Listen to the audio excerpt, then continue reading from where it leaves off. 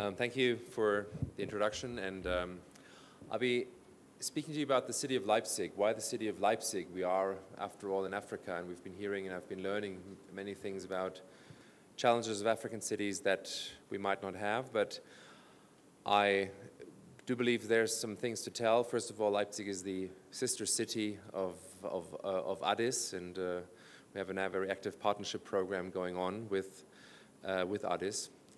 And uh, there's been a long tradition of people from Ethiopia coming to study in Leipzig, also from the time of East Germany. So, uh, and I believe Leipzig has had a, a unique transitionary path um, over the last 30 years, and I'd like to take you on that trip with you. So, um, I think I have some slides.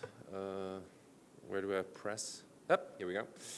So, Leipzig's inclusive growth model, and I'd like to take you on um, basically three levels of what we'd call inclusivity is on, first of all, the planning process. Uh, secondly, inclusive interventions in space.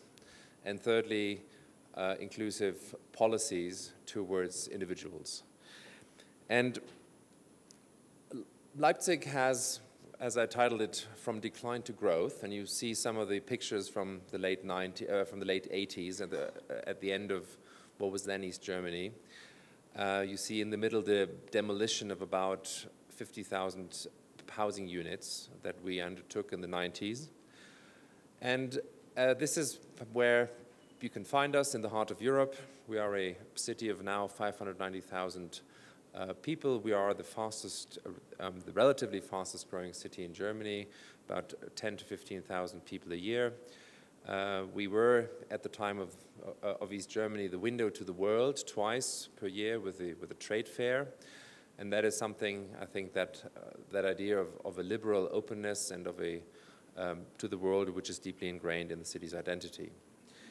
Um, these are the th things you might take away. We have a strong industrial history. We, have, we are the origin of the peaceful revolution of 1989. We're also the origin of many music and cultural um, contributions from Bach to Mendelssohn.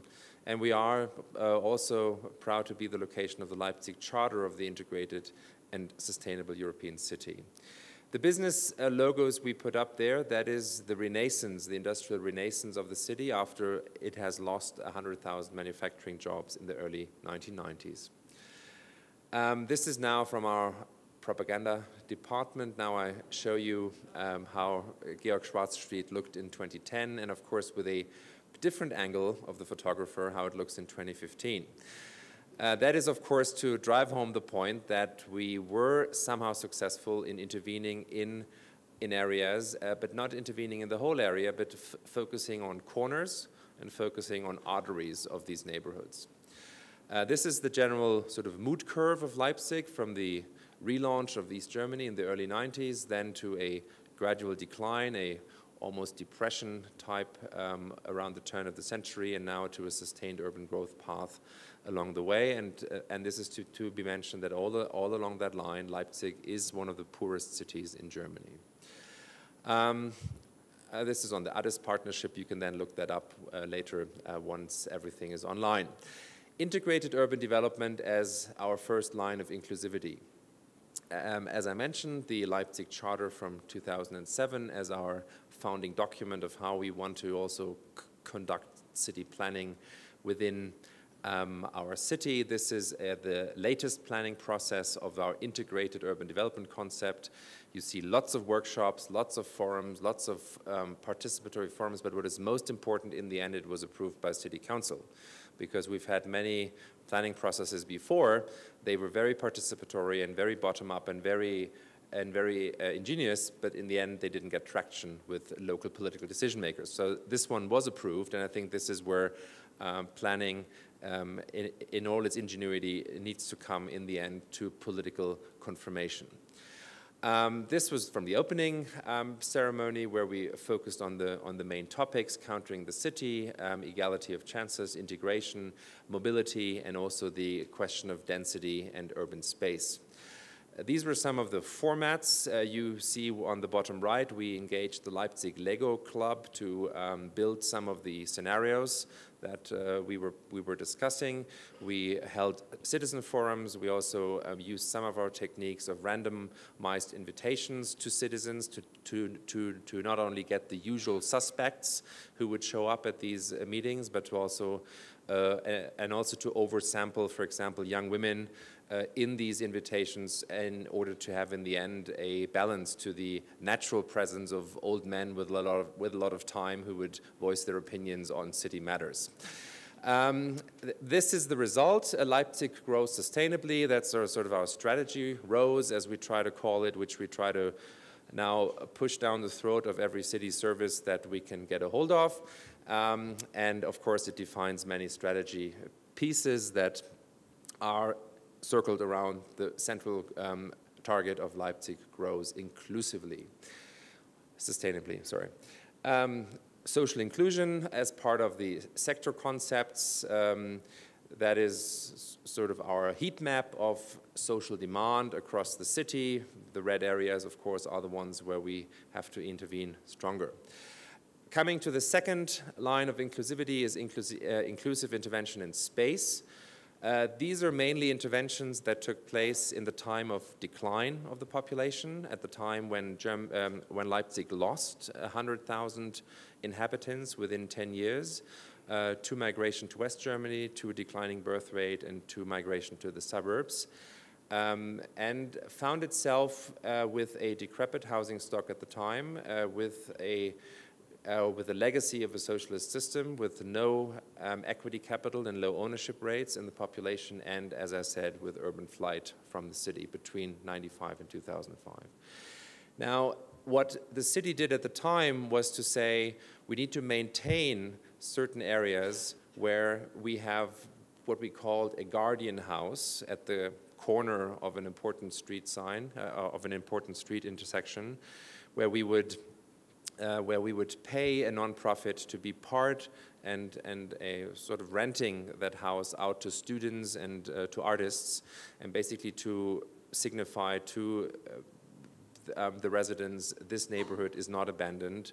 We still believe in you, uh, but we have a temporary usage at the corner.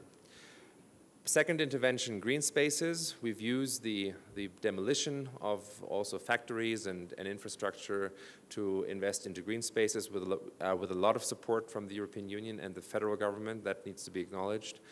Uh, but um, investing in these green spaces was also a part to, re, um, to make these, um, the city more attractive. Uh, we also allowed, and I, what I would call breaking with, uh, with zoning orthodoxy. We allowed individual home building in parts of the city where you would normally build multi-story homes.